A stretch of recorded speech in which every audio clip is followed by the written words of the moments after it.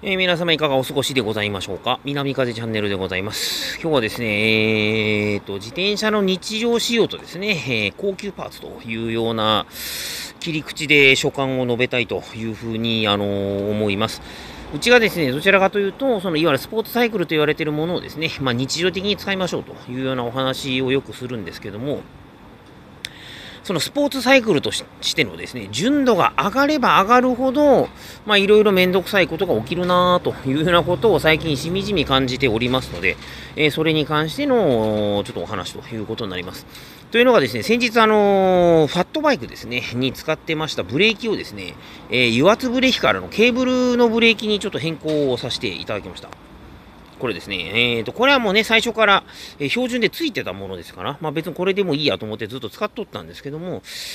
まあやっぱりね、あのー、お隣が出るとか、あのローターのシャリシャリ音がこう出るとか、あと、エアガミするとなんかもう調整がめんどくさいとか、まあ、現場で対処がもう非常に難しいというようなこともありまして、あの中指1本でね、スカンと止まるというあの機能はもう素晴らしいんですけども、それ以外のですね、あのネガに感じることの方が増えてきまして、まあ、あのケーブルのね、えー、ブレーキが、まあ、結構ガラクタ箱から出てきましたんで、まあ、ちょっといい機会だから交換するかと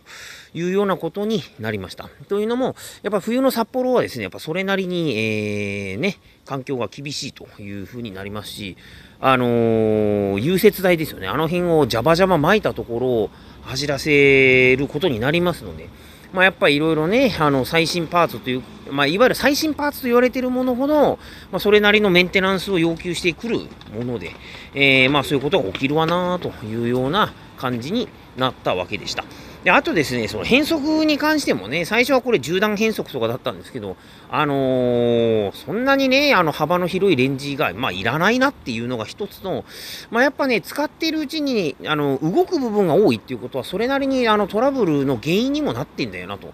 いうようなこともありましたし、これね、なかなか信じられんことだと思いますけど、僕あのね、今のところ、まあ毎、毎朝の自転車20キロぐらいね、街中を乗りますというようなことをやっとるんですけど、えー、変速機付きの自転車だとですね、腱鞘炎になってしまうというね、